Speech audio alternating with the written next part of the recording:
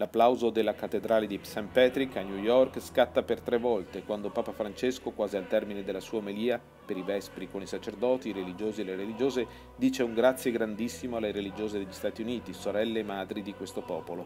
Cosa sarebbe questa Chiesa senza di voi? aggiunge donne forti e lottatrici, sempre in prima linea nell'annuncio del Vangelo. Vi voglio molto bene, aggiunge il Papa che prima aveva lodato l'opera di tanti consacrati nell'educazione cattolica e poi aveva ricordato le sofferenze della vergogna sopportata a causa di tanti fratelli che hanno ferito e scandalizzato la Chiesa nei suoi figli più indifesi.